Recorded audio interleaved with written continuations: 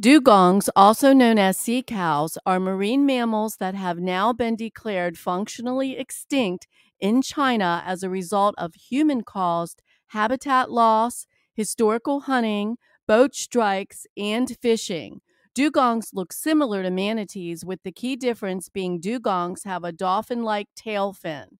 Just like manatees, dugongs mostly eat seagrass. They inhabit shallow tropical coastal marine waters. The dugong's likely disappearance emphasizes just how dire our fragile environment is. It should serve as a wake up call to protect other species on the brink of extinction.